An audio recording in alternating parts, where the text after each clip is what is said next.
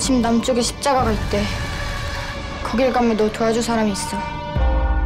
달로 con Spirito 나 그딴 거 믿지도 않는데 이게 왜 생겨요? 이게 왜 생기냐고!